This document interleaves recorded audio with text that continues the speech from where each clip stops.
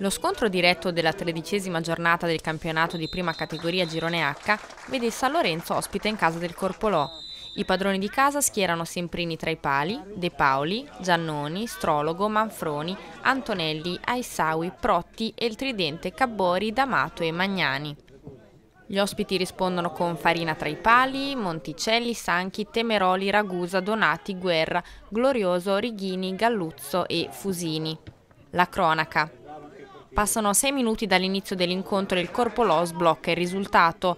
Corner battuto da Magnani, Temeroli respinge, Magnani si riappropria del pallone e crossa per Cabbori che di testa insacca per il gol dell'1-0. Al ventiduesimo Guerra pericoloso cerca la rete del pareggio. Antonelli devia il tiro e Semprini butta fuori dal campo per sicurezza. Dopo un minuto il capitano azzurro Ragusa riporta il punteggio in equilibrio con un gran gol tirato dalla tre quarti. 1-1. Al ventottesimo nessun uomo del Corpolò frena la corsa di guerra che per due volte cerca il gol, ma è bravo Semprini a ribattere ripetutamente difendendo così la porta. Un giro di lancette e il San Lorenzo sfiora il gol, calcio d'angolo battuto da Glorioso, Righini termina il tiro poco lontano dal palo. Al 36 minuto il Corpolo a mancare di poco il gol del vantaggio con una punizione battuta da D'Amato che per pochi centimetri finisce oltre la traversa. Al 41 ancora Corpolò in attacco, Magnani recupera la sfera passatagli da D'Amato ma il suo tiro viene bloccato da Farina. Sullo scadere del primo tempo D'Amato raggiunge la porta ospite, la difesa non arriva in tempo per fermarlo e il capitano giallorosso la infila nell'angolo destro della porta. 2-1 e squadre negli spogliatoi. All'undicesimo della ripresa occasione sprecata per il Corpolò. Cabori perde tempo davanti alla porta ospite, D'Amato si fa vedere ma l'arbitro fischia il fuorigioco. Al diciassettesimo minuto l'arbitro Marchi della sezione di Forlì non concede rigore al San Lorenzo per intervento di mano di Strologo sul tiro in area di Righini. A questo punto il direttore di gara si lascia sfuggire il controllo della partita e l'incontro si trasforma in una lotta continua. Al ventitreesimo Ragusa butta a terra Magnani sul limite dell'area. D'Amato batte la punizione, Protti impatta di testa segnando il gol del 3-1. Dopo tre minuti confusione totale a metà campo. Strologo colpisce un avversario, i giocatori iniziano a litigare tra di loro, Manfroni interviene per calmare gli animi e viene buttato fuori immeritatamente con un rosso diretto. Ma non è finita qui. L'arbitro, dopo aver sbagliato il giocatore da punire, mostra il cartellino giallo a Ragusa che, essendo già stato ammonito, viene cacciato dal campo. I due giocatori espulsi vengono lasciati uscire dal campo da soli e, raggiunti gli spogliatoi, i due continuano a litigare. L'arbitro, imperterrito, non sospende l'incontro, peggiorando la situazione e portando la tensione ai massimi livelli. Al trentesimo minuto un altro giocatore viene mandato sotto la doccia. Glorioso interviene su Magnani e viene cacciato fuori per doppia munizione. Al 42esimo non viene concesso un altro rigore netto, questa volta il Corpolò a rimetterci.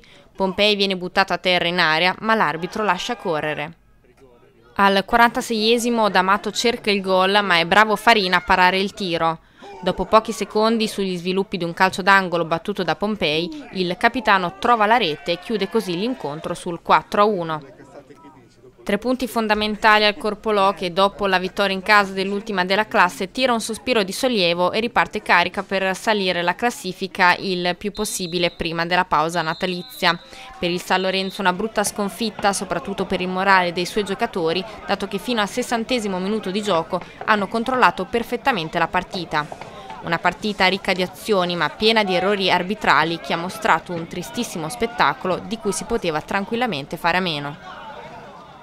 Noi adesso ci siamo guardati in faccia, noi dopo le ultime due sconfitte in casa contro il Real Marignano e col Saludecio ci siamo guardati in faccia, abbiamo detto qui così non si può andare avanti, per cui abbiamo cercato di tirare una riga. Fino ai primi 70-75 minuti il risultato è stato in bilico, eh, sul 2-1, anzi forse sull'1-1, sull'1-0 abbiamo avuto più occasioni noi che loro, però purtroppo non l'abbiamo buttata dentro, loro su due respinte, su due rimesse in gioco da, da calcio d'angolo hanno fatto i due gol, punizione il terzo e il quarto vabbè, di, di, di, rimesso sul finale.